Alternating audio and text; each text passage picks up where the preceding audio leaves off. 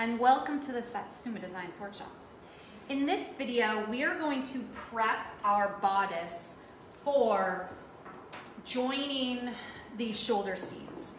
Now, when we're working on the overlock machine, it can be a little uh, inconsistent.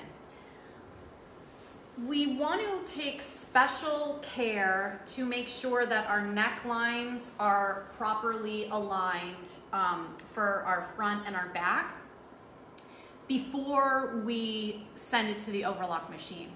To do this, I'm simply tacking just oh, a very short half inch tack um, on my shoulder seam. So I'm taking right sides together so my necks, my neck and shoulder corners are aligned and I'm just putting it under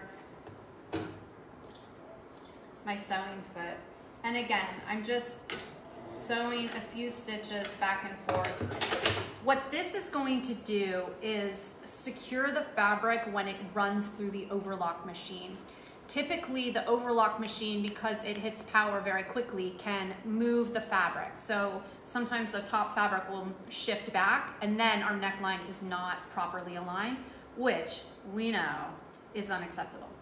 So we're gonna go ahead and just do this little tiny operation which does add more time, but it's going to really pay off in the quality of our work. Okay, I will meet you at the overlock machine for our next video where we are going to simply serge our shoulder seams together. Thank you.